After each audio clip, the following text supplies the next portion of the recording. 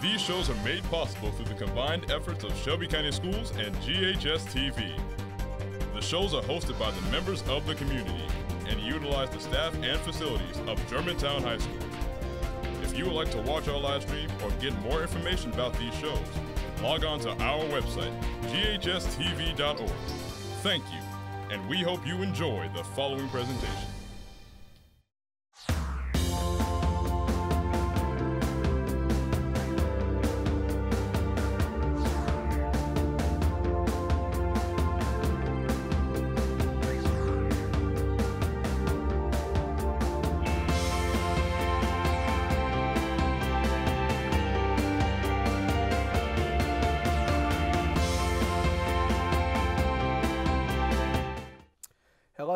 Welcome to Living Well. I'm William Kenley. Sepsis is a life-threatening illness that can occur when the entire body reacts to an infection. Every year, over 250,000 Americans die from sepsis. It's very important to catch this illness early.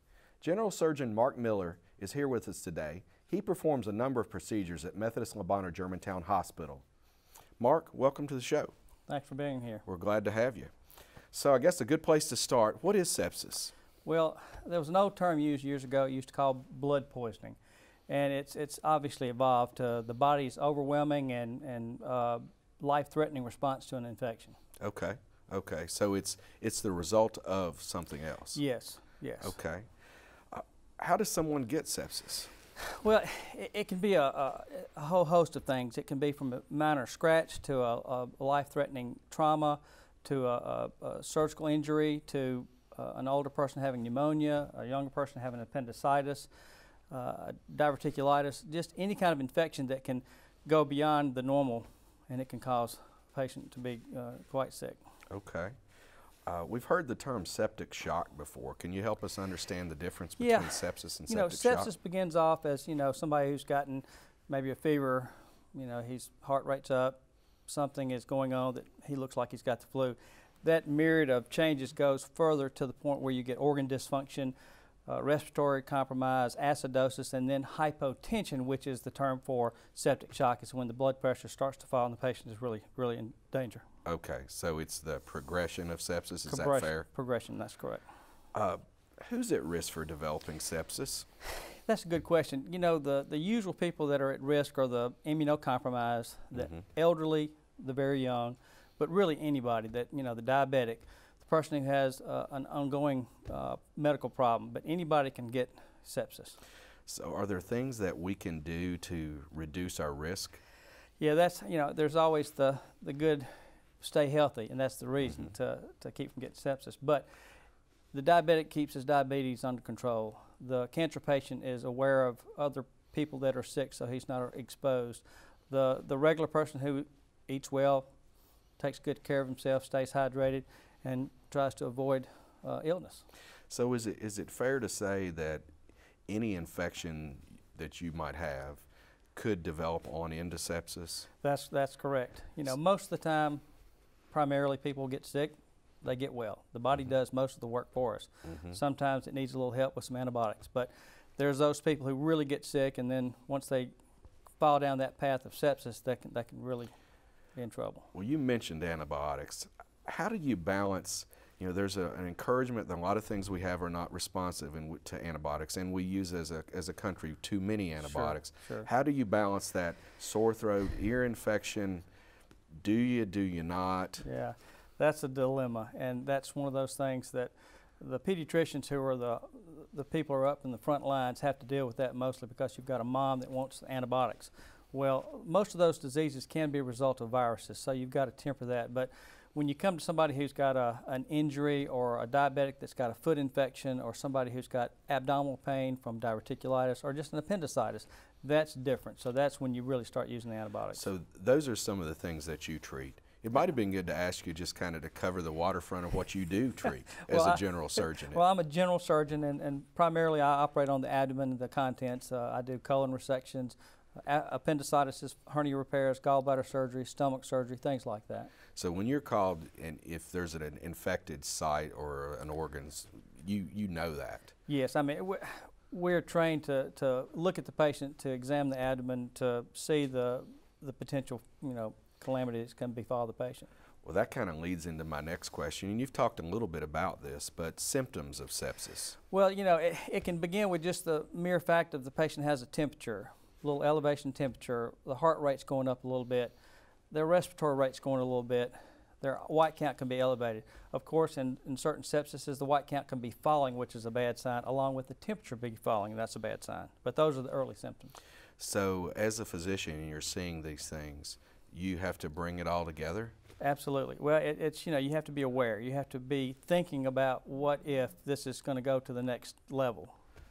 So, uh, it sounds like it could be challenging to diagnose. It is. I mean, you know, a lot of people get sick. A lot of people have the flu-like symptoms. A lot of people have, you know, the, the common things. You know, they got a little scrape, but after you see them progress, you start seeing their their countenance change, their color changes. You know, they're they're getting sick, and you can see it. Okay. But it's hard okay. to determine that. I mean, they could just be having the run-of-the-mill flu and look like very sick, but you know, sepsis is kind of hard to treat. Yeah, we want to be very specific in our society. Absolutely. We want a, a lab test, and then we want a specific drug to fix it. Absolutely. So there isn't like run the sepsis test on. I me. know it. I wish there was a sepsis test. Is there a battery of things that you look at? Well, I mean, like I said, those things that you know, you check the white count and you check the patient's you know vital signs, their their respiratory rate, their heart rate, their temperature. All those things kind of clue you in. If they're elevated, then you're more alert to the thinking that they may be going down that path of sepsis. I see. Can you talk about time? I know I mentioned in the beginning that uh, how important time is. So it's not just about diagnosing, but it's a, it's about diagnosing and starting something quickly. Absolutely, and you know we don't want everybody to rush to the emergency room because they think they're getting septic, but you know you do have to be aware of those things, and you know those simple things to to alert the lay public to say, hey, I need to go see my doctor or I need to go to the emergency room, then they can take it from there. Okay. So early detection or early awareness and, you know, be proactive. So take us through a, a, a patient comes to, to, to your hospital, comes in, there's been a diagnosis. Uh, kind of where do we where do we go? Well, the hallmarks, it's an emergency, so you are giving them fluids right off the bat. You're giving them antibiotics. A lot of times we hit them with broad spectrum antibiotics to cover everything until we know specifically what we're treating or what bug we're treating. But Okay. those are the hallmarks. And then you support the patient. If their blood pressure is going down, there are obviously there are pressure agents that we can use to help support the blood pressure. That helps the body maintain uh, the perfusion of organs, which can So when you say, I want to cut you off, but when you say pressure agents, what do you mean? well, I mean, you know, there there are drugs that we give that help constrict the blood vessels that are being dilated by the toxins or the the, the sepsis. There are agents to help support the heart, to help the heart, you know, pump more efficiently and better. and you mentioned fluids. Why is that important? Well, the body will need fluids to maintain its blood pressure, and a lot of times with sepsis, their blood pressure is starting to fall, and they can be at jeopardy for all of a sudden once their pressure falls to a critical level, you, you can't get them back. So you want to maintain fluid. We have to to get them hydrated to keep them alive, so to speak. I see. So that kind of gets you to the point then that you would actually start treating the source, I guess. Right. Well, that's Or the, identifying yeah, the source. abso- you know, identifying the source. Obviously, if they've got appendicitis, you take them to surgery and remove the appendix. Boom, you fix them. But there are other diseases that you really can't just fix. You know, perforated colon. A lot of times you have to do surgery, but sometimes you can treat medically to get them back out of that septic position on forward to where you can treat them more appropriately. Well, it's time for a quick break. Up next, we'll talk more about how to treat eh, sepsis and what to expect during and after recovery. Stay with us.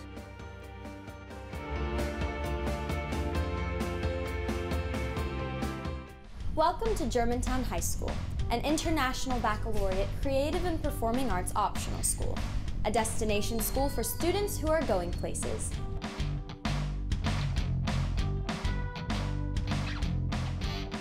Our students are of the highest caliber when it comes to their academics and knowledge. The IB program is a very rigorous program. You were challenged in a way that you thought you couldn't be challenged.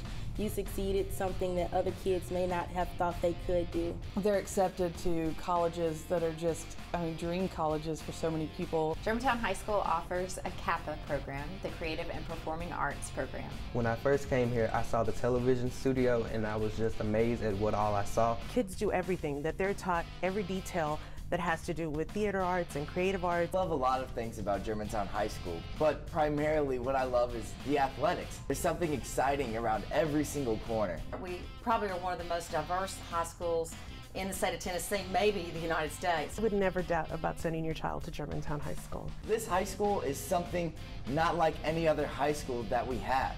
There's definitely fun in the work. We find fun in everything we do. You're watching the award-winning GHS TV, a nationally recognized student television station. Welcome back. We're talking with surgeon Dr. Mark Miller about sepsis. So we talked a lot about identifying sepsis in the first segment. Now we're going to talk a little more about what you do then and the treatment of sepsis. So let's kind of take it up from there. All right. Well, when a patient is deemed to be septic, you know, you're already on an emergency uh, protocol. The patient's going to get fluids, antibiotics. Broad coverage of antibiotics are used just to, to kind of shotgun approach to make sure that we cover everything that could possibly be going on. And then once we kind of settle down to figure out where the source is, then we, you know, can home the specific antibiotic for the specific bug that we're treating. But you know, sepsis can be from a lot of things, so the treatment is primarily directed to what's causing the sepsis. I if see. a diabetic comes in with a bad foot, a, an infected diabetic foot, then we treat that. We may take the person to surgery, to debride, to wash, to clean, and get the infection under control. Intra-abdominal sepsis is what I see mostly because I'm a surgeon.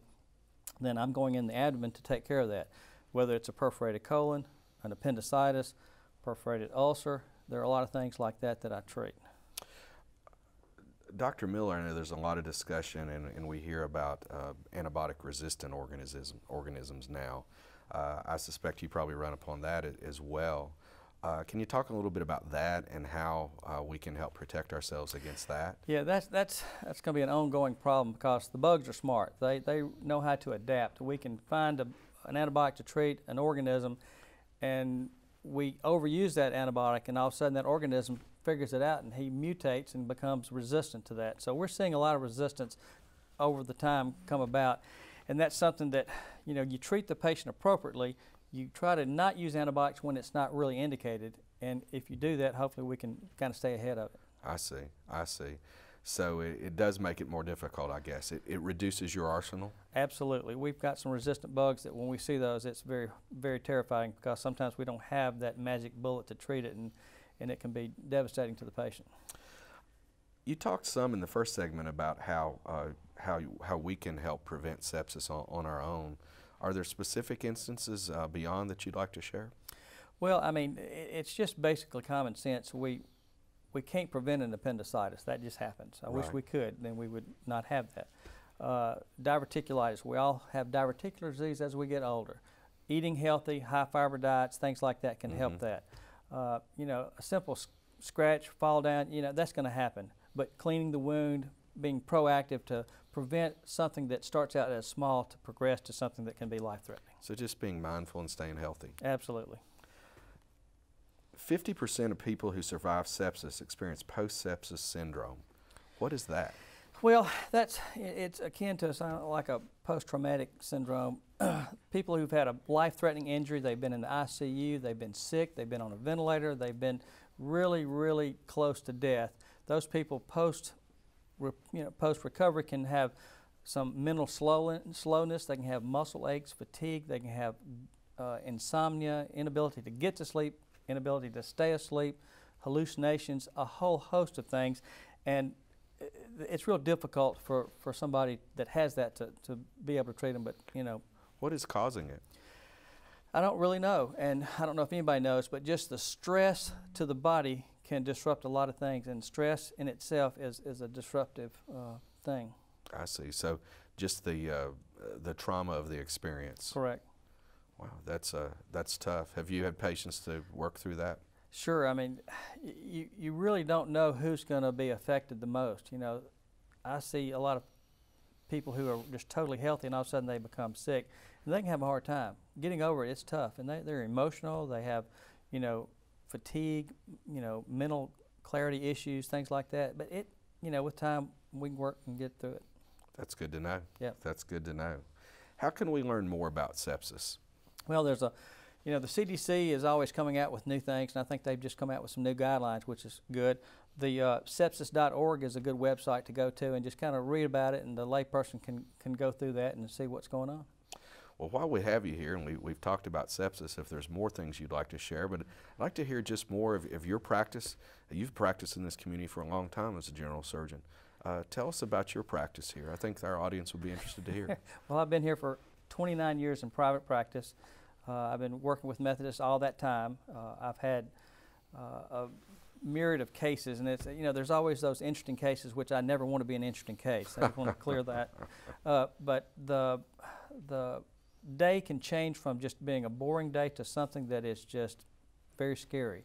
And uh, from just walking along and all of a sudden you have somebody come in the emergency room who's septic, who's sick, who's got to be resuscitated. You know, you do that and then you have to go from there. So it's not something that you can plan your day over. I see. Have you seen your practice change in 29 years? Oh gosh, I think I'm seeing more sick people than I've ever seen. I don't know if that's really. Yes, uh, I think that we're living longer, we're maintaining our longevity with, with just the, the fact that we have a better quality of life. But as we grow older, you are going to get sick and things can be more serious as that time as that time goes on. How about surgical techniques? How's that changed? Oh, that's you know, I'm a gadget guy. I love to see new things come along. We've we've come from, you know, just basically cutting somebody open and reaching our hands in there to, to see what's wrong. Now now we have robotics and we can I can sit over in the corner on a comfortable chair and actually operate on the abdomen, you know, 20 feet away. So it's it's come a long way, and it's and it's fun to see the new things come along. How are some of those things beneficial to your patients? Well, you know, we've gone from making large incisions to small incisions to to open surgery to minimally invasive surgery. So the minimally invasive surgery that accomplishes the same goals of open surgery is so much better for the patient. They can return to work sooner, they have less pain, and they're a lot happier when I see them back in the office. How, uh, how do you work with other specialties in the hospital? I know you work closely with anesthesiologists, particularly right. on post-surgical right. pain and recovery. Well, I must say that what I do is a team event. Without my nurses, my associates, my people who you know clean the operating room, the people who take patients from the floor to the X-ray, I couldn't do what I do without them. So it's it's a team approach, and I have colleagues, and we work together. We like to talk about things, and it's nice to know what they're doing, so they know what I'm doing, and we all be on the same page. And I think that's what what your patients really expect. Absolutely. Still to come, meet a woman who has written a book about surviving sepsis. She'll share her family's experience with us right after this quick break.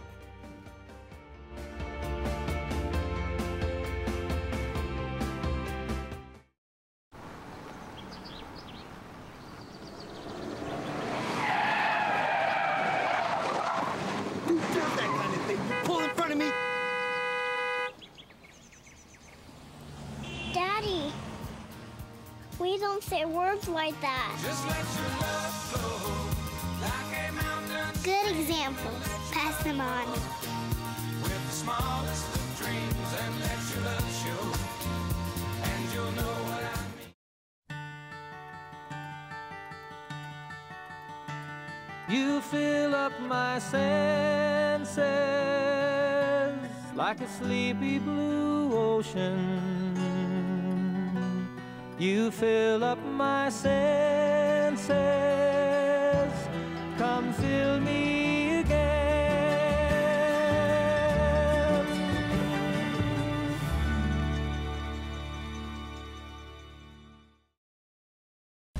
You're watching the award-winning GHS TV, a nationally recognized student television station.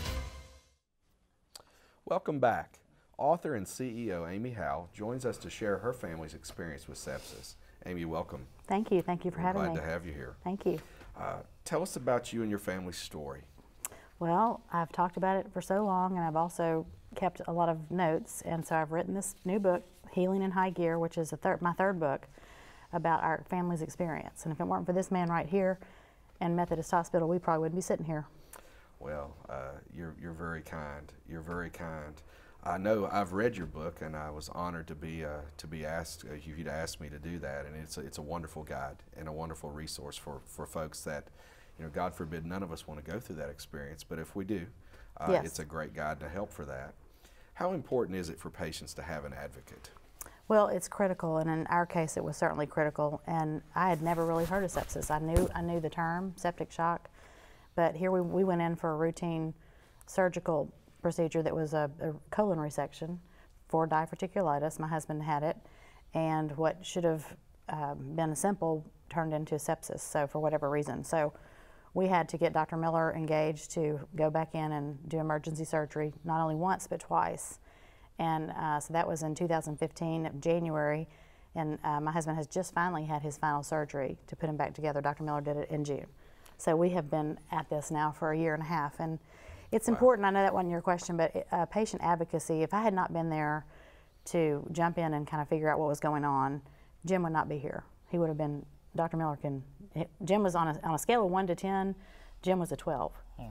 Is that right? That's correct. He was, he was there. So what was it like the day that you got called in? Well, you, you, you never really are prepared to, you know, get these calls, but all of a sudden you get them, you go, well, you know, uh, something's got to be done. I mean, it's not something, well, let me think about that and push it to the side and I'll come back tomorrow. It, it had to be done right then. So, you know, I'm trained to know what to do. I've, I've got to go in and do something to fix what's wrong because he is going down and he's not going to get any better without an intervention. So that's what I do.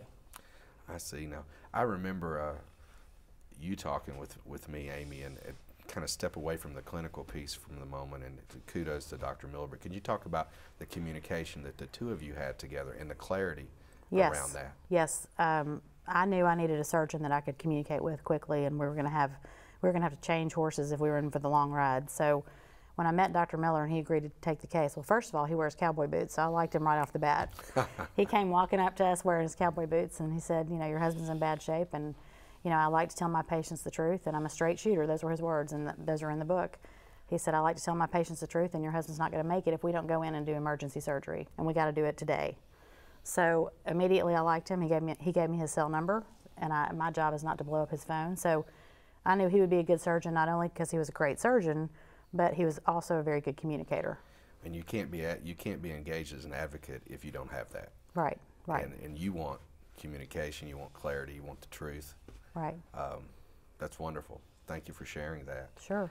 What tips do you have for juggling? I mean, you were juggling a lot of things through these 18 months. And I still am. And so I think Dr. Miller alluded to the fact that post sepsis and post septic shock, there are a lot of issues that you deal with as a family. As I mean, when something so tragic and so critical happens to one person, it happens to the family. Sure. So my son at the time was a senior in high school. We were in the midst of trying to figure out, you know, where he was going to go to college, and my daughter is now a junior in high school. So my kids were at home, and they were great. They stepped up. We spent over 100 days in the hospital. Like 35 of those were in ICU. Uh, five surgeries and the ventilator twice, a tracheostomy. So it was serious stuff. And you know, it's important to, um, and that's what we talk about in the book. You know, how do you handle your finances? How do you handle? I have a marketing and PR firm. I had to keep working. My team had to, you know, answer the bell every day. Right. So I had to pay bills. I had to find out. You know, Jim paid a lot of our bills, and I had to find out where they were. And you know, it was it was very stressful. So it's a it's it's not been. I mean, I feel like if I can survive the last two years, I can survive anything. Any tips for trying to be prepared if, in, in fact, your family found yourself in that situation? This book has 13 chapters in it. Uh, the first chapter is what happened to us, and then all the other chapters are helpful guides on different topics like your fin your finances, mm-hmm. um, what to do before you have a surgery. It's a, there's a checklist in here. There's a checklist in here about sepsis. What is sepsis? How do you detect it? What does it look like? And shortly after I helped my husband, I also helped my dad. He, he had a, Dr. Miller did a gallbladder surgery. The EMTs were trying to take my dad to St. Francis and treat him for stroke. They missed it. So, you know, we have to do a better job. And, you know, there are only two states in our country who have adopted septic protocols, mandated it Illinois and New York, because so many people died, is the largest killer in the hospitals. So we have to do a better job detecting sepsis and right. diagnosing it, because right. once you're septic, you're critical and quickly, as, uh, as Dr. Miller shared with us. Yes. Uh, why did you decide to write a book? Well, it's my third book. My first book is Women in High Gear. It's about women entrepreneurs. My second book, the women that read it said, please write one for our kids because they don't know how to get out of college and they they're in debt. So we wrote Students in High Gear. And then when this happened, you know, I had my computer with me all the time at the hospital, so I just started taking notes and thought this would be a good, you know, catharsis for me and help. And this is really meant to help other people. I see. But it sounds like it helped you as you went through the process as well. Right, and if we can avoid, um, if, if I can help, if someone can read this book and they can say, okay, that's how I would deal with the hospital system and that's how I would deal with a sick person, then it's been worth it. So you said your husband had three surgeries? No, five. Five surgeries in total. Five total. From January 2015 was the bad surgery, and then Dr. Miller did four more. And the last one, he, he had a colostomy bag for 15 months.